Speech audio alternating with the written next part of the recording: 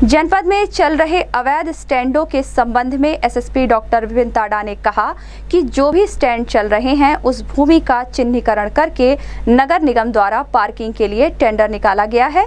जैसे ही tender approve हो जाते हैं, उस जगह उपलब्ध नया पार्किंग स्थल बनवाया जाएगा, जिसको देखते हुए सभी प्रकार के प्रयास चल रहे हैं।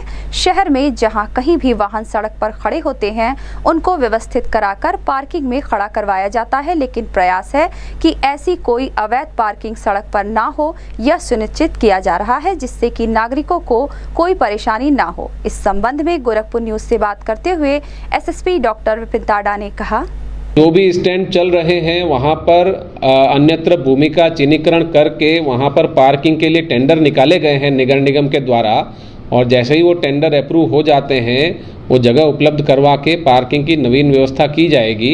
इसमें लगातार सभी प्रकार से प्रयास चल रहे हैं और वर्तमान में भी जहाँ सड़क किनारे वाहन अगर कहीं जगह की कमी से खड़े होते हैं तो उनको व्यवस्थित करवाया जाता है।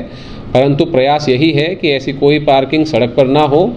कम से कम सड़क के ऊपर कोई वाहन पार्क ना हो, ये सुनिश्चित करने का प्रयास है हमारा।